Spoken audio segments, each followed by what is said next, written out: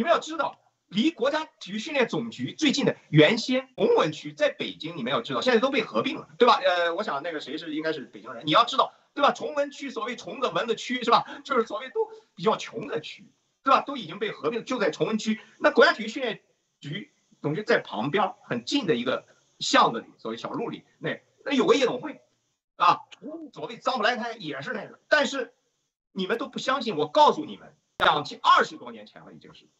那个夜总会里面已经有性表演的这些，就是这种色情表演啊啊，就跟泰国的一样啊，女孩子脱光了抽烟啊，这些拿底下什么都有啊。我告诉你们，这中国你们这帮孙子就是老百姓们，你们最终要经历的就是这些东西，就是没有人告诉你们真实的社会、真实的世界。